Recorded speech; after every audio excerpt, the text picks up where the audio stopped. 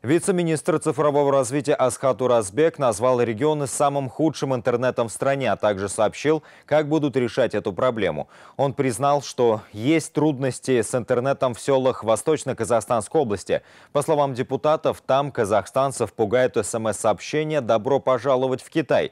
Чиновники полагают, что в эти регионы и отдаленные села интернет будут доводить не геостационарными спутниками связи. Спрос на спутниковый широкополосный интернет в Казахстане большой, ведь на большей части страны недоступна даже обычная голосовая связь, а наш сосед Китай быстрыми темпами разворачивает сети связи 5G рядом с нами в Синьцзянь-Уйгурском автономном районе и разрабатывает ускоренными темпами даже 6G. В этой связи депутат Саиров пожаловался на плохой интернет в селах ВКО рядом с Китаем. Также Мажлисмен рассказал об СМС-сообщениях, которые пугают местных жителей. В Тарбагатайском и Зайсанском районах ВКО ВКО на сотовый телефон жителей приходит сообщение «Добро пожаловать в Китай». Они оказывают морально-психологическое давление на жителей сел, полагает Мажлисмен.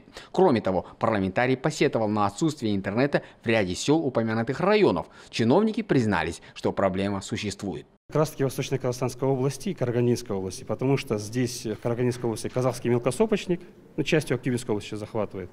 А, очень сложно доводить а, интернет с помощью радиорелейных линий связи, потому что там сложный рельеф. И то же самое в Восточно-Казахстанской области, такая ситуация, но там горы, вы сами понимаете. Но почему же в Казахстане плохой интернет? Неужели все упирается в рельеф?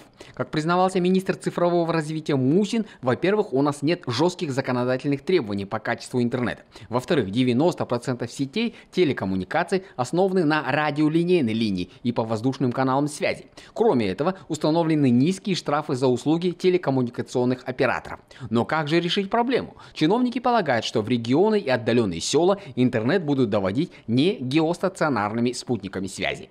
Вот те села, о которых депутат э, говорил, скорее всего, мы туда дойдем а, не геостационарными спутниками связи. Ну, вы знаете, на слуху у вас это OneWeb, Starlink, сейчас это все современно, классно, круто. Но помимо того, что это круто и современно, для нас это своевременно.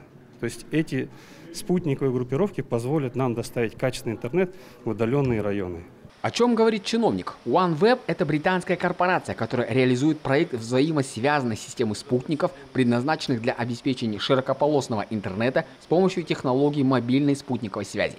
Компания OneWeb является конкурентом еще одной спутниковой группировки проекта Starlink, которая реализует компания американского бизнесмена Илона Маска. Если для проводного доступа нужно тянуть дорогой оптоволоконный кабель, то здесь необходимо лишь установить тарелку для приема сигнала. Надежность интернета из космоса высока. В случае выхода из строя одного спутника его подстрахуют другие.